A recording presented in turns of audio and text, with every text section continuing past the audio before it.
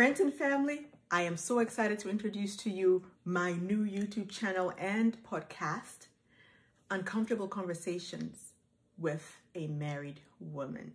Now, you don't have to be married to be listening to this. If you're thinking about it, if you have a friend who is married and going through something, go ahead and watch it, share so you can advise them, you know, give them some information. We talk about everything here. There's nothing that is off limits. If you're thinking about something that you'd like me to talk about, make sure to subscribe.